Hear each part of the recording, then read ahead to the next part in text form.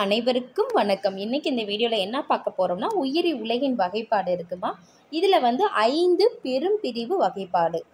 ஐந்து பெரும் பிரிவு வகைப்பாடை யார் வந்து சொன்னாங்க அப்படின்னா ஆர்ஹெச் விக்டாகர் ஓகேவா இந்த வகைப்பாட்டினை முன்மொழிந்தவர் யார் அப்படின்னா ஆர்ஹெச் விக்டாகர் இவர் வந்து அமெரிக்க வகைப்பாட்டியல் வல்லுநர். இவர் யாருன்னா அமெரிக்க வகைப்பாட்டியல் வல்லுநர். இவர் வந்து ஆயிரத்தி தொள்ளாயிரத்தி அறுபத்தி ஒன்பதாம் ஆண்டு தான் ஐந்து பெரும்பிரிவு வகைப்பாட்டினை வந்து முன்மொழிந்திருக்காரு.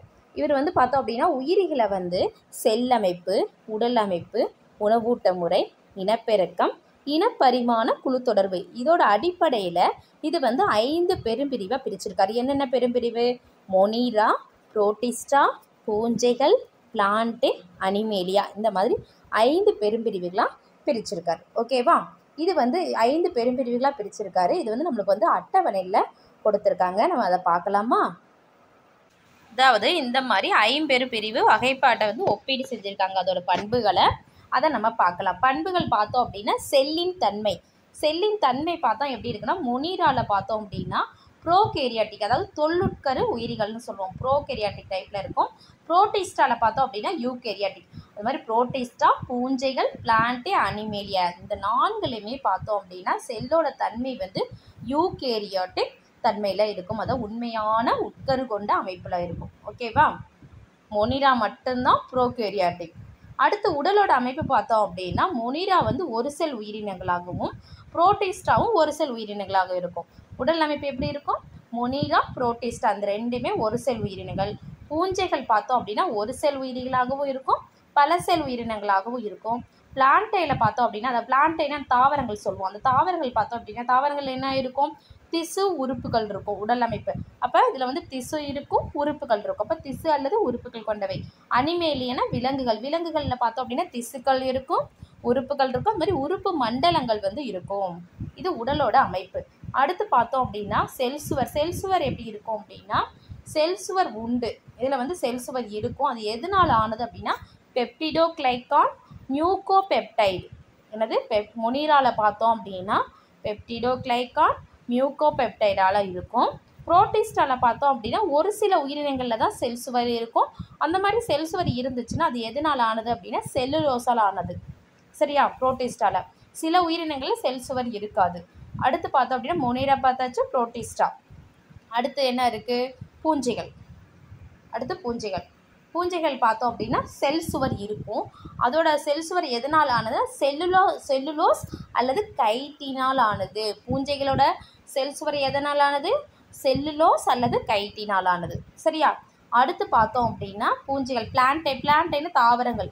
பிளான்டைனா தாவரங்கள். தாவரங்களோட செல் சுவர் எப்படி இருக்கும்? செல் சுவர் இருக்குது ஆனால் எதனால் ஆனது செல்லுலோஸால் ஆனது. தாவரங்களில் பிளான்டையில் வந்து செல் சுவர் வந்து செல்லுலோஸால் ஆனது. ஓகேவா அனிமேலியால் செல் சுவர் கிடையாது. விலங்குகளில் என்ன கிடையாது? செல் சுவர் கிடையாது. அடுத்து பார்த்தோம் அப்படின்னா உணவூட்ட முறை. உணவூட்ட முறை பார்த்தோம் அப்படின்னா மொனிரால தற்சார்பு உணவூட்ட முறை அதாவது தானாகவே உணவை தயாரிச்சுக்கும். எது மூலமானா ஒளி சார்பு வேதி சார்பு மூலமாக அடுத்து பார்த்தோம் அப்படின்னா சார்பூட்ட முறை ஊட்ட முறை சார்பூட்ட முறைனா உணவுக்காக ஒருத்தரை சார்ந்து இருக்கிறது. இப்போ ஒட்டுணிகள் சாருணிகள் அந்த டைப்பில் வந்து அந்த இது விதத்தில் அதோட ஊட்ட முறை இருக்கும். மொனிரால புரோட்டிஸ்டால பார்த்தோம் அப்படின்னா தற்சார்பு ஊட்டமுறை. தானாகவே உணவு தயாரிச்சுக்கும் எது மூலம்னா ஒளி சார்பு பிற சார்பு முறையில்.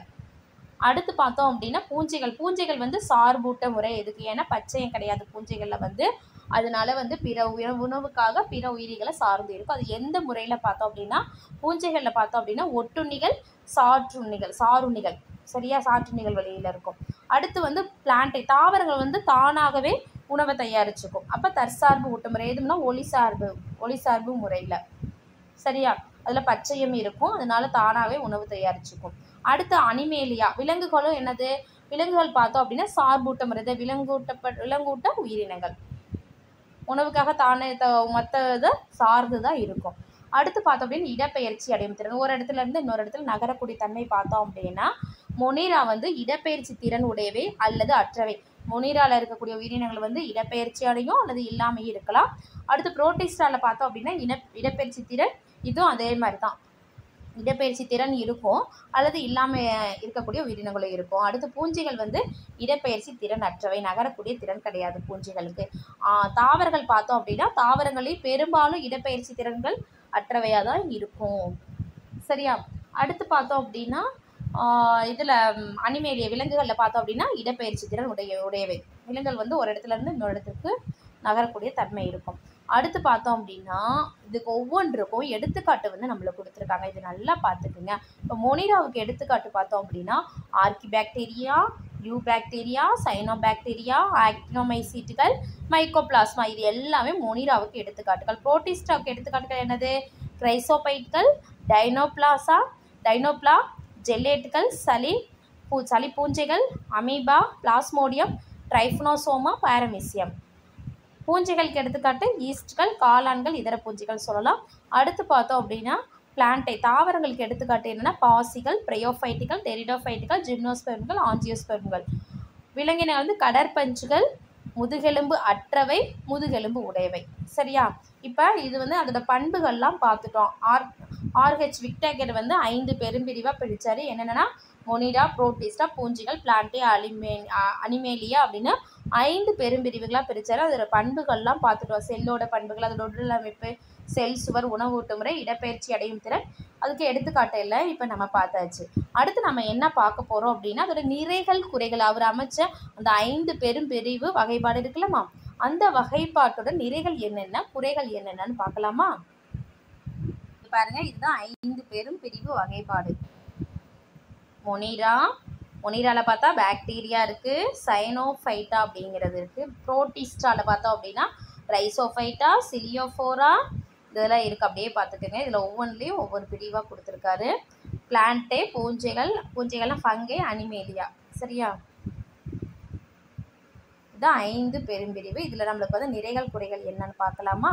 இதில் பாருங்கள் நிறைகள் பார்க்கலாம் ஃபஸ்ட்டு நிறைகள் பார் பார்த்தோம் அப்படின்னா இந்த வகைப்பாடு வந்து சிக்கலான செல்லமைப்பு உடல் அமைப்பு அதோட அடிப்படையில் அமைஞ்சிருக்குது. இந்த வகைப்பாடு வந்து.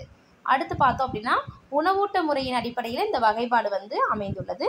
பூஞ்சைகள் வந்து தாவரங்களிலிருந்து பிரித்து த தனியாக வைக்கப்பட்டுள்ளன. தாவரங்கள்ல இருந்து பிரித்து பூஞ்சைகள் வந்து தனியாக வைக்கப்பட்டுள்ளன. அடுத்து பார்த்தோம் அப்படின்னா உயிரினங்களுக்கிடையே காணப்படும் இனப்பரிமாண குழு தொடர்பினை இது வந்து எடுத்துக்காட்டுது. இது எல்லாமே இதோட நிறைகள் ஆர்ஹெச் விக்டோரோட ஐந்து பெரும்பிரி வகைப்பாட்டோட நிறைகள் இது எல்லாம் பார்த்துக்கோங்க. அடுத்து குறைகள் என்னென்ன இருக்குது அப்படின்னா தற்சார்பு சார்பூட்ட முறை உயிரினங்கள் செல் சுவருடைய செல் சுவரற்ற உயிரினங்கள் மொனிரா புரோட்டிஸ்டா எனும் பெரும் இது வந்து எனும் பெரும் பிரிவில் வந்து வை வைக்கப்பட்டுள்ளன அப்படின்னு சொல்கிறாங்க இதனால் என்ன இதனால் இவ்விரண்டு இவ்விரண்டு மாற்று இவ்விரண்டு பெரும் பிரிவுகளும் பார்த்தோம் அப்படின்னா மாற்றுப்படித்தான பண்பை அதாவது ஹெட்ரோஜீனஸ் பண்பை பெறுகின்றனன்னு சொல்கிறாங்க அடுத்து வைரஸ்கள் வந்து இந்த வகைப்பாட்டில் வந்து சேர்க்கப்படவில்லை அப்படிங்கிறதா இதோட குறைகள். சரியான பாக்டீரியா இதெல்லாம் இருக்கிறப்ப வைரஸ்கள் இருக்குல்ல? அப்போ வைரஸ்கள் வந்து அது ஒரு உயிரினங்கள். வைரஸ்கள் வந்து இதில் வந்து சேர்க்கப்படவில்லை. இதுதான் இதோட குறைகள். சரியா? இந்த வீடியோ உங்களுக்கு பயனுள்ளதாக இருந்துச்சுன்னா நம்ம சேனலை சப்ஸ்கிரைப் பண்ணுங்கள் லைக் பண்ணுங்கள் ஷேர் பண்ணுங்கள் தேங்க்யூ டு ஆல்